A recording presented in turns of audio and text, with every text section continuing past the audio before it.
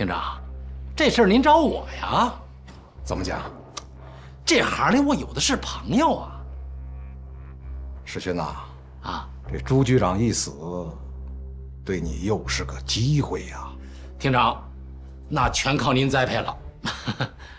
那我就再给你试试。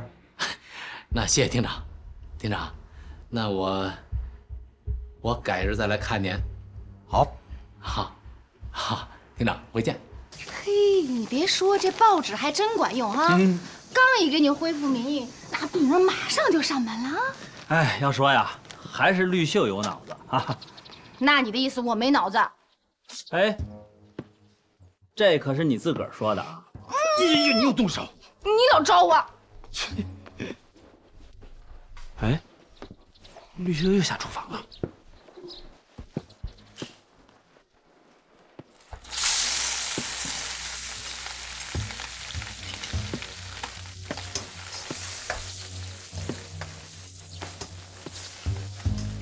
绿秀儿，嫂子，你歇着，今天尝尝我的手艺。哟，你好啦？好多了。绿秀，你还没好利落呢，让你嫂子干吧啊！没事儿，哥，饭一会儿就好了，你们都歇着。那成，今儿尝尝你的手艺啊！哎，哎，绿秀，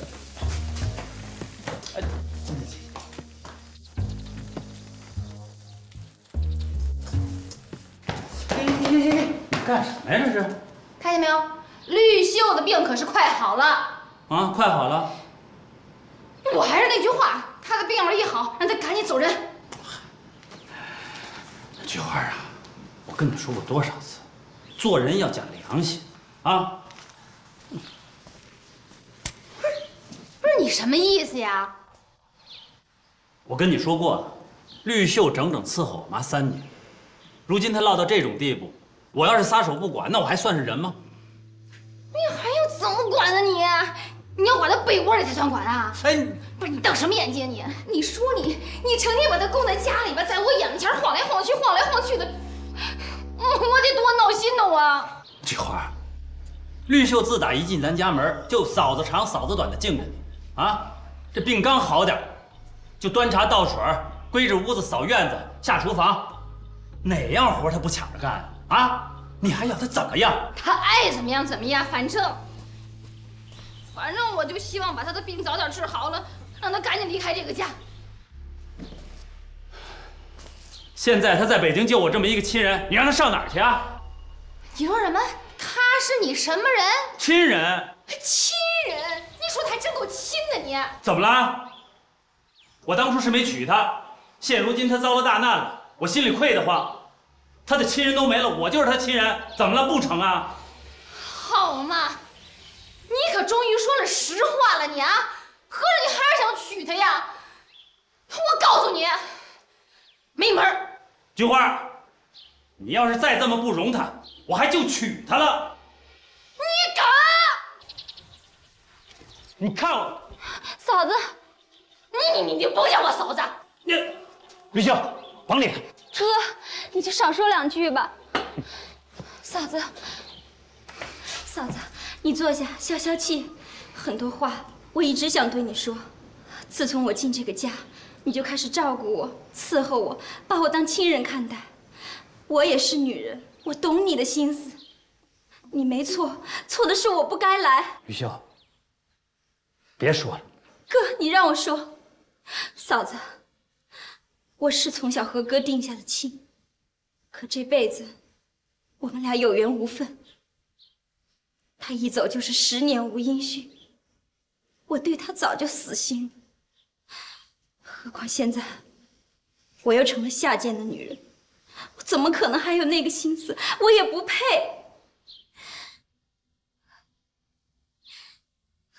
要不是遇到哥和嫂子，我是活不了多久的。是你们救了我，让我又有了做人的感觉，又尝到了家的温暖，又回到了亲人的身边。在这个世界上，除了你们，我一个亲人都没有了。能和你们在一起，我心里已经很知足了。嫂子，我求求你，不要让我离开你们，不要让我离开这个家。你们是我的亲人，是我的恩人。嫂子，我绿秀今后一定当牛做马的报答你们。哎呦，哎呀，可可别了，绿秀，快起来啊！哎呦，哎呀，别呀，你，我没说让你走啊，快别哭了，嫂子。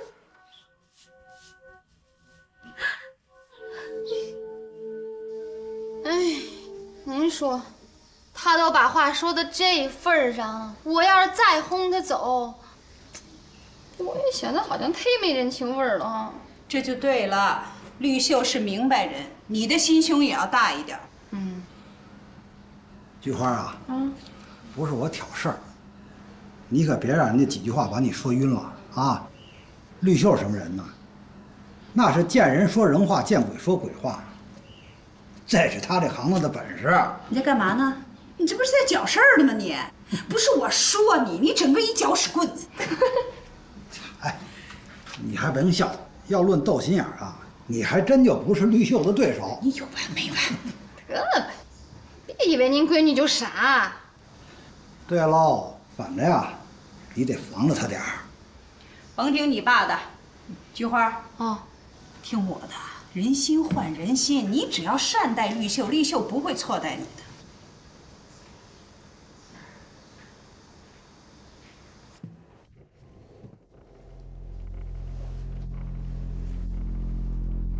这叫龙纹棒槌瓶，是是，还是康熙年间的，好东西啊！你看看，又让你破费了不是？这不是应该的吗？世勋呐，告诉你个好消息，那个姓严的就要滚蛋了。哟，真让厅长说着了。这叫审时度势，乘势出击。国会把我的抗议书果然当成捣乱的材料了，搞得段祺瑞很尴尬。听说段祺瑞为了避嫌，已经决定让这个严司令离开京城了。厅长，只要老严一走，我马上按照您的指示查封三块堂。好，绝不能让这种江湖游医在北京立足。您放心，一定严办。世勋呐，啊，局长的任命这就要下来了，你可别再像上次那样给搞砸了。您放心，绝对不会。置酒完毕，告辞马家还，行至在中。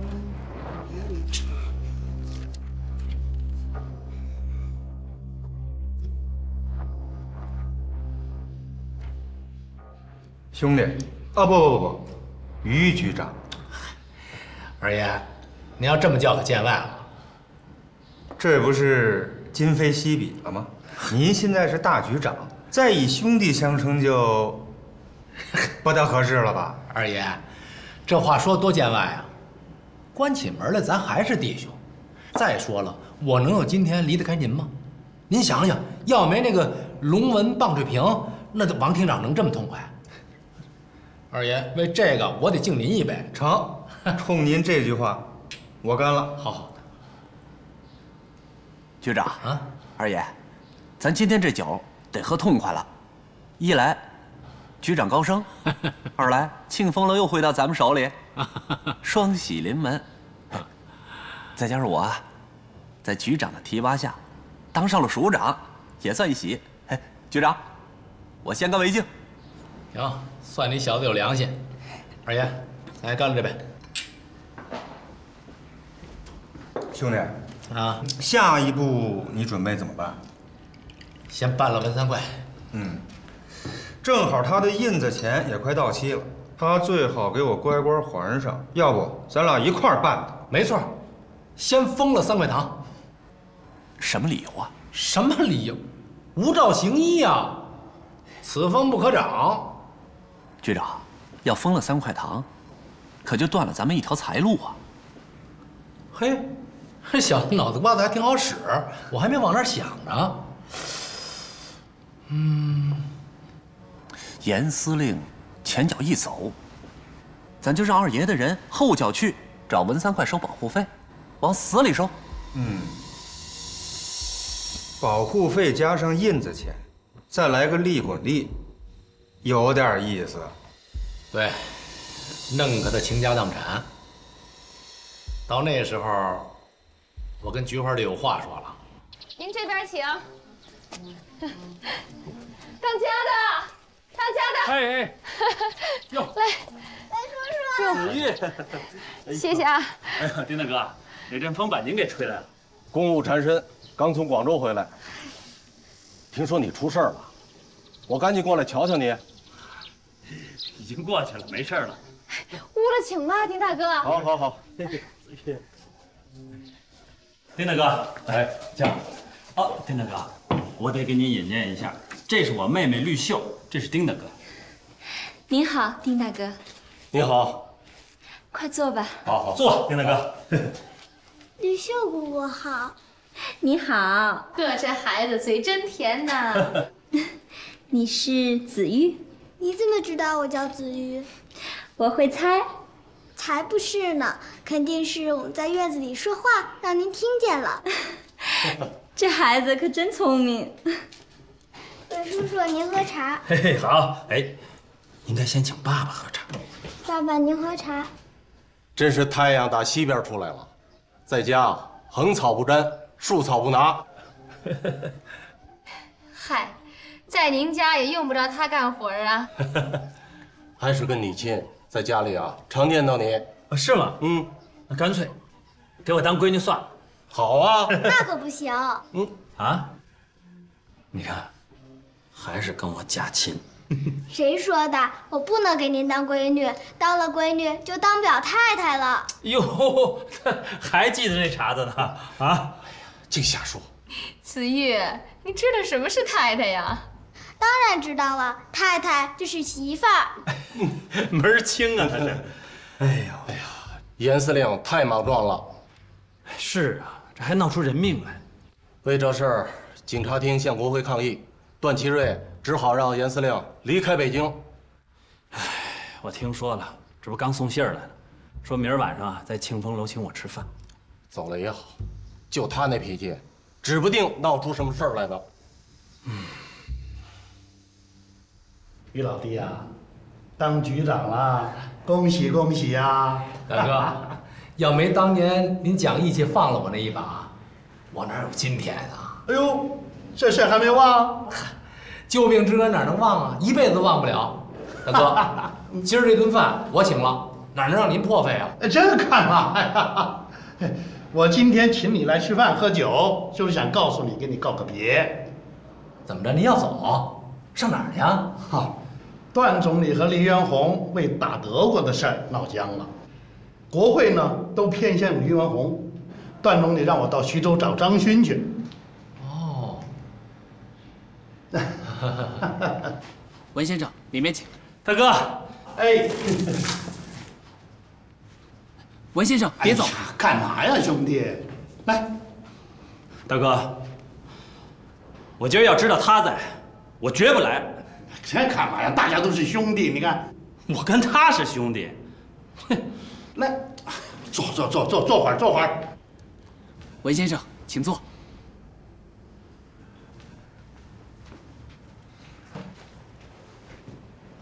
兄弟啊，你这脾气往后得改改了，别记死仇啊！江山易改，本性难移，改不了了。兄弟，今天请你跟于老弟过来。是想告诉你们，大哥要走了，给你们拉合拉合啊！兄弟啊，于老弟现在是局长了，你以后啊很多事儿得找他帮忙，就以前的事儿就算了。来，你给于局长敬一杯酒。哎，别介大哥，这杯酒我可受用不起，我压根儿就没想敬。文三奎，我以前看了我大哥的面子，我没跟你计较。你别蹬鼻子上脸，姓于的，你不就当个局长吗？有什么了不起的？我告诉你，我压根就没拿眼睛夹你。今儿我大哥走了，我这一百多斤儿就交给你了，谁怕谁呀？行，咱走着瞧，到时候别怂。切，嘿，干嘛？你们就像斗鸡似的，都没把大哥放在眼里，是不是？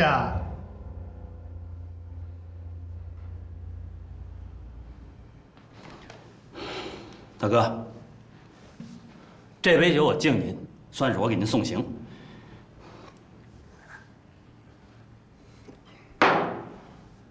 对不住了。哎，嘿，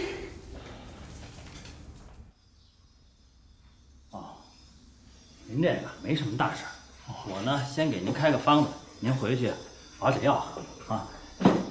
回头我用秘方啊，再给你熬点外敷的药。哎，我听您的。文先生，嗯，您说说，这是什么世道啊？我这病啊，都是让他们给挤得出来的。嗨，你真是，哎，你知道吗？前几天到我这儿诈死闹丧的，就是朱局长指使的。文先生，天大的误会，没影儿的事儿啊！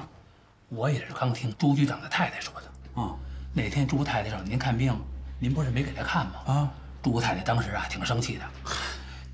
于世勋这小子听说了，他就挑唆朱局长啊，想治您。可是朱局长呢？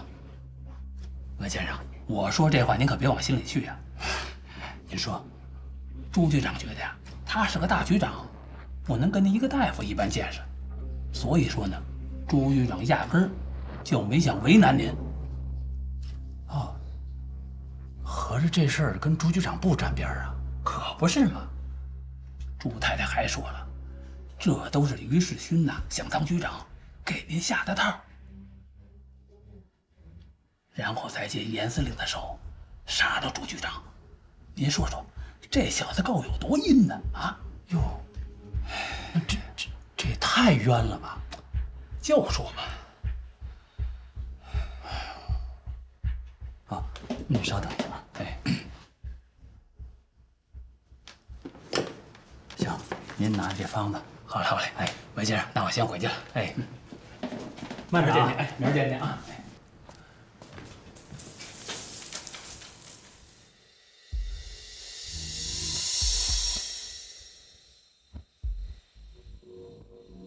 青子，哎，我做了个梦，有点邪。我梦见小桶姑来找我，说他在阎王爷那儿蹲了七年大牢，放出来，回人间找他的仇人。啊？小统姑，当年您砍死那位？啊。你说这有点邪吧？我听得真真的，就在我耳朵边上嘀咕。这不知道。孙子，有本事来，我接茬砍他。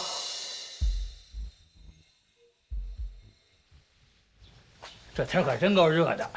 是啊，徐掌柜，这是给您熬好的外敷药，您拿回家去烧开了，拿毛巾蘸着敷，早晚各一次。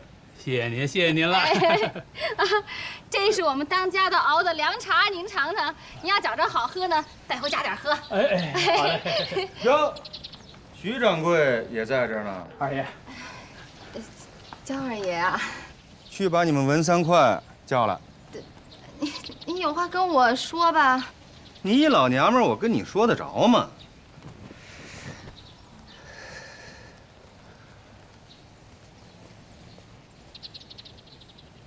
这是什么呀？凉茶，刚倒的，我还没动呢。您喝吧。我能喝吗？能喝。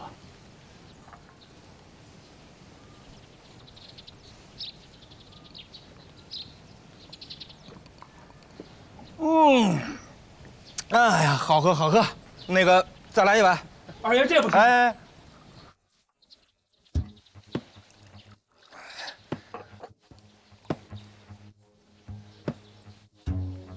怎么跟刚才那味儿不太一样？哎，大热天儿的，能喝这？哟，姜二爷，姜二爷来了。二爷，你这凉茶怎么一股臭脚丫子味儿啊？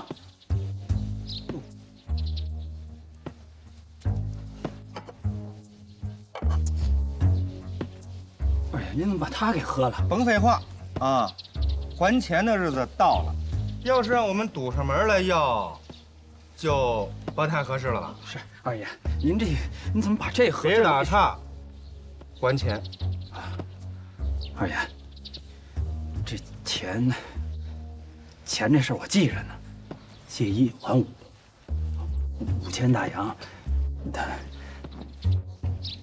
我放心，我一分都不少的。那就拿出来呗。二爷，这实在不好意思，这钱呐，就是还不了。什么？还不上？是。这个月手头紧，上个月这不是闹丧吗？没几个人来看病，等过几个月，过几个月我连本带利一块还给您，啊。过几个月？对，文三快，要是到时候还还不上呢，你要是再跟我玩花活，我可叫你吃不了兜着走。是。二爷，二爷，你看我这仨手指头吗？我是指着他养家糊口挣钱呢，到时候我真还不上的话，你把他们给我剁了。你干嘛？好，那就去我那儿立折子去。到时候要是真还不上，别怪我翻脸不认人。哎，二爷，点儿。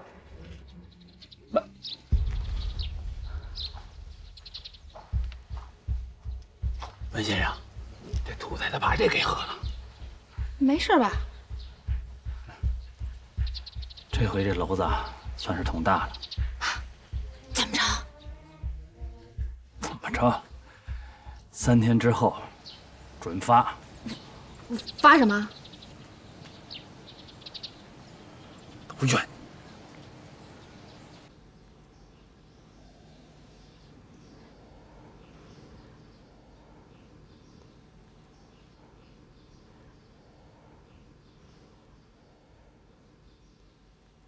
张先生，我知道，我快去见阎王爷了。哎呦，您可别这么说，这病来如山倒，病去如抽丝，慢慢来，啊。您呀，净给我吃宽心丸了。哎呦，您要是真拿我的药当宽心丸，那您这病就算好一半喽。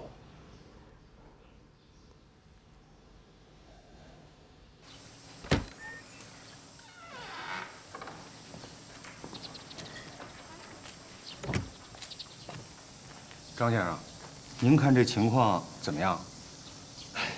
二爷，大嫂的情况不太好啊。哎，带病延年吧。带病延年，您什么意思？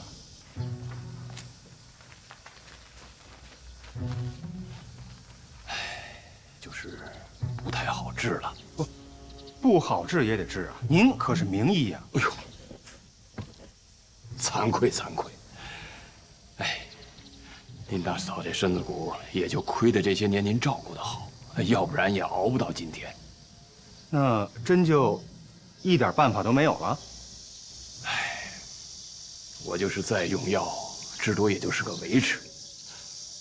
要不二爷再请别的大夫试试？您都治不了，谁还能治啊？三块堂的文大夫，文三块，哎。这文三块行医用药与众不同，哎，有点绝活，您应该请他来看看。您不是跟他有仇吗？还这么捧他？哎，医家以救人为念，这和我们之间关系好坏无关。哎，医家有所长必有所短，文三块确有过人之处啊。是吗？哎，我还以为他是个棒槌呢。把药给我。大嫂，您把这药喝了。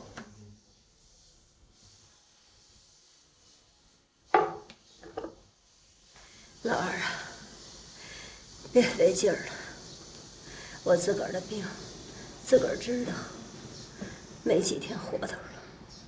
大嫂，您可千万别这么说。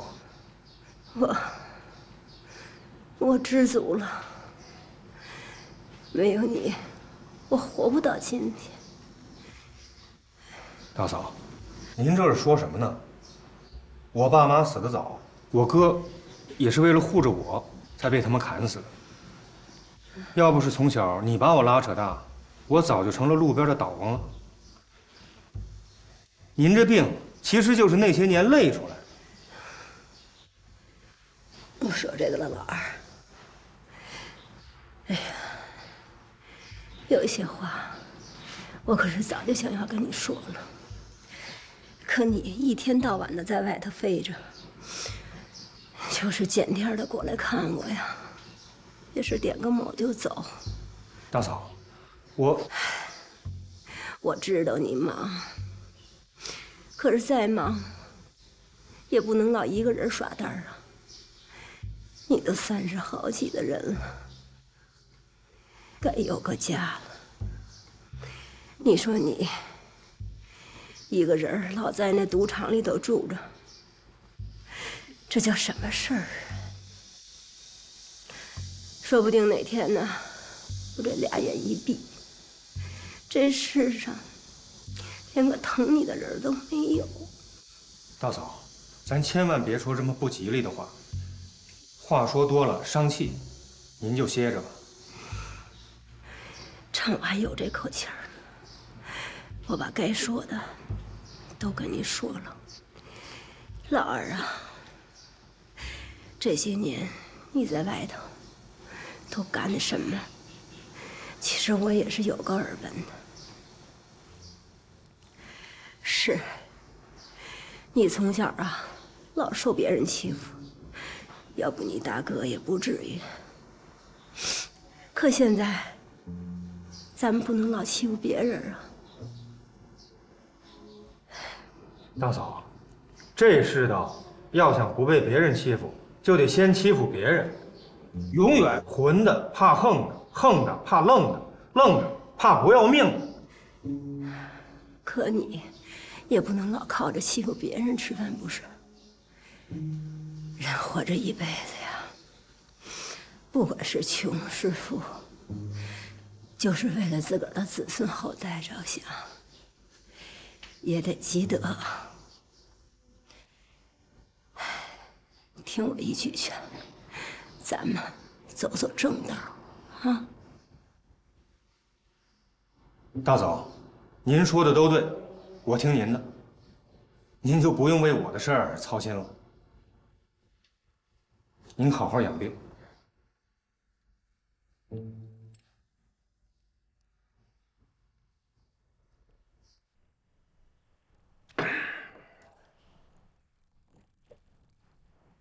师傅，要不我把文三快找来？找他，给他脸了。一找他看病，打咱们自个儿的脸；二，万一他给我大嫂使坏呢？他敢，他就不怕您活剐了他？他不给我大嫂治，我大嫂还能多活一阵子。万一这小子使坏，我不能拿我大嫂的命打哈哈。师傅，这喝闷酒伤身子，您喝了不少了。我这心里烦。大嫂为了我呀，这些年没少受苦，落着这一身病。哎，在我心里，我这大嫂就跟我妈一样。你说这哪天要是一口气儿过去了，那大嫂这病就这么耗着了。所以我这心里烦呢。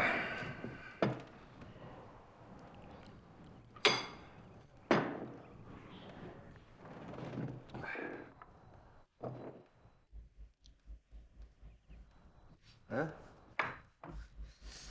怎么了，师傅？我这怎么浑身都痒呀？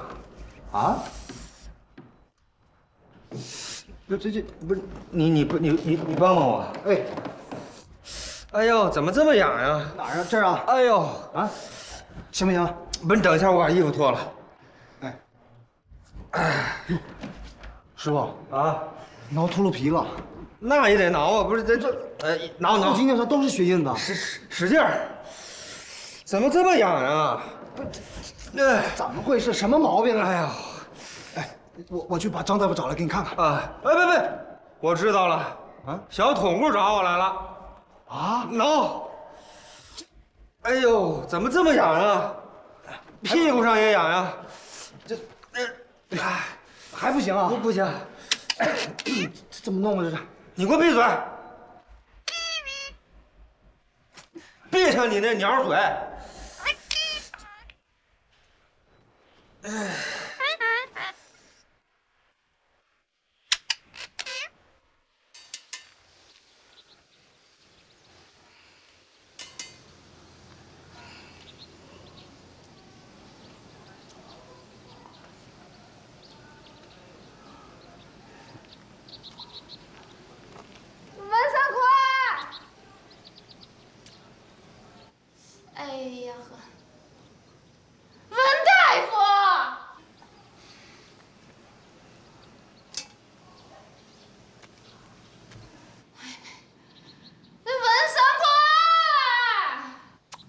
嘿嘿嘿嘿嘿，你这叫魂呢这？嫂子不舒服。他呀就是着点凉，没事儿。哎呦，我这脑袋瓜疼的要命啊！这个，哎，不是你赶紧给我看看呀，我得吃点什么药啊？这个，这病啊不用吃药，不是你听听，哥，你就给嫂子开点药，顺手的事儿。是药三分毒，我说不用就不用。再说了，就他这病啊，我也不管治啊。你要想治啊，找别人治去啊。你是我当家的，我不找你治，我找谁治啊我？哎哎哎哎，对门啊，对门专治你这病。你成心呀你啊？什么破规矩都往我身上使？哎，我告诉你，谁也甭想破坏我的规矩。嘿，你看你哥，哥，你可真行。那是，哼，么又走了呢？哎呦，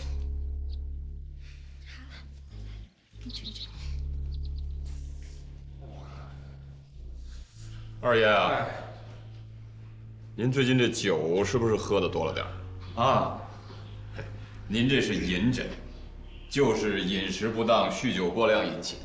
哦，少喝点，哎啊。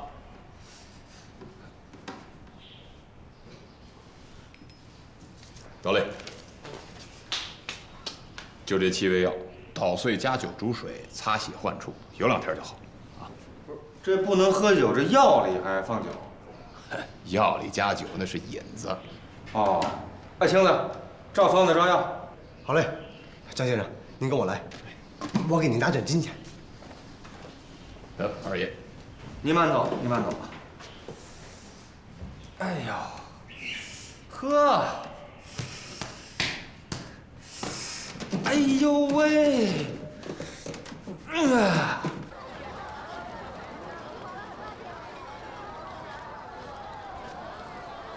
卖报卖报，特大新闻，总理段祺瑞被免职。哎，卖报，来一份。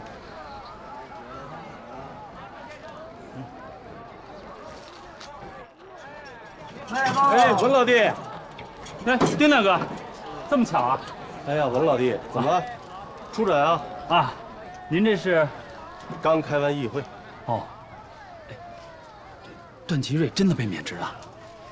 千真万确，这里边啊还有严司令的事儿呢。怎么会呢？他离开北京，跟着段祺瑞的督军团去了徐州。煽动张勋要用武力驱逐黎元洪，结果东窗事发，黎大总统免去了段祺瑞的总理职务。那段祺瑞岂能善罢甘休啊？跑到了天津，发了通电，不承认黎元洪的免职令，煽动督军团要打倒黎元洪。哎看来北京要出乱子了。城头上插满了大王旗，你方唱罢我登场，这就是乱世。我这个国会议员，不定哪天就成了平头百姓了。大哥，不当官也好，无官一身轻嘛。说的也是。走，咱们有时间再聊。哎，好。您慢走了。好，哎，慢点啊。哎，好。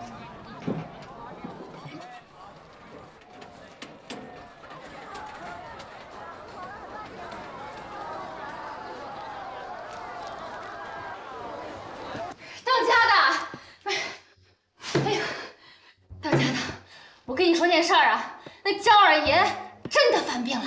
啊？听说喝点闷酒，也不知怎么的，就开始就浑身瘙痒真发出来了啊！我说什么来着？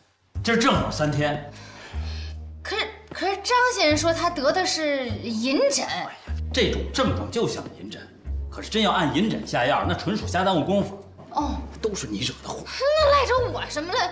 你又懒得教我。欠人的钱还没还上，这又给人下了药，这我要跟焦二爷说了，还不得活剐了我？哼，那还不是因为他你才借了印子钱？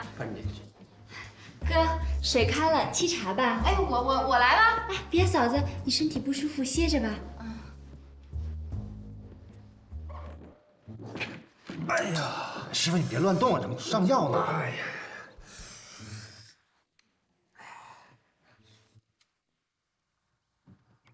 呃，怎么样，师傅？感觉好怎么样？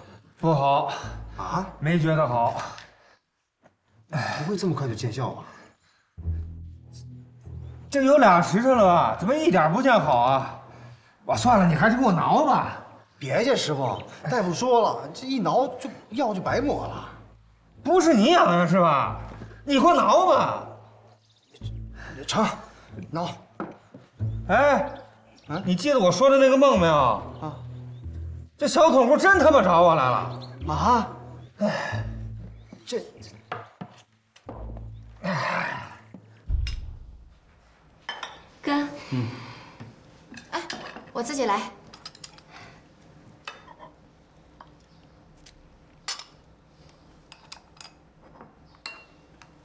哎，绿秀，啊，你赶紧吃吧啊，忙活一早上呢。瞧你说的，做饭还能累着。来，坐下吃吧。哎，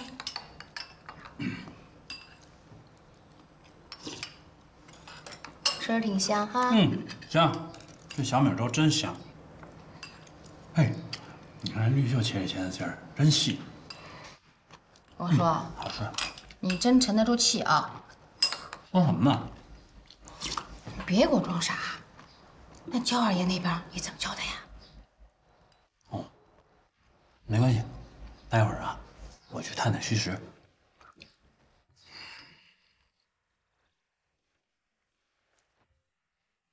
师傅，这位是孙天师，专门捉鬼的。大夫说是银枕，饮食不当，酒喝多了。银疹？非也非也，你是妖精缠身。站住！别动！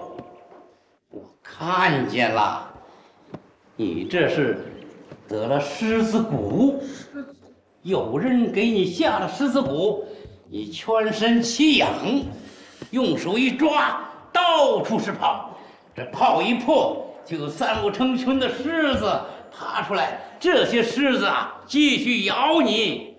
确实是一抓一片，可哪有狮子？哪有？壮士有所不知，你中的是阴间的狮子谷，这阴间狮子谷是有人做梦给你下的，这梦中的人你看得到吗？看不到。是啊，所以说你也看不到爬出来的狮子。你看得到。青皮，哎，我说什么来着？就是小桶屋闹的。什么？小桶屋是谁？就是以前门外一霸，后来被我师傅砍死了。嘿嘿嘿嘿，这就对了。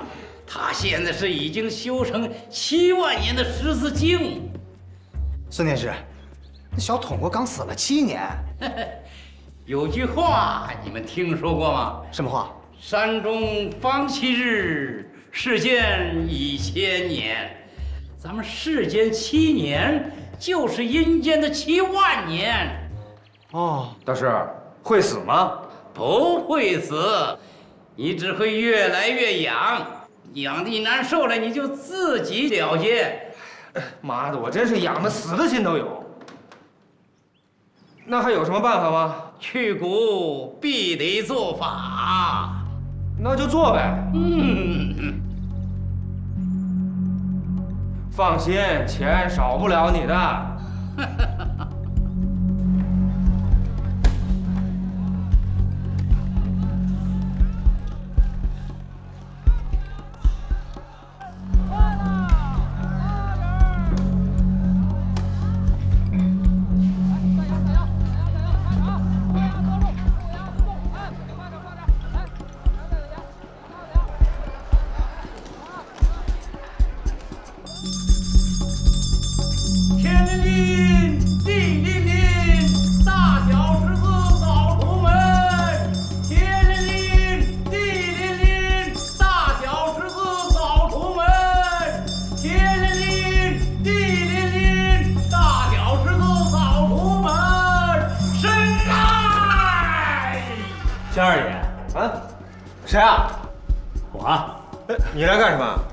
钱？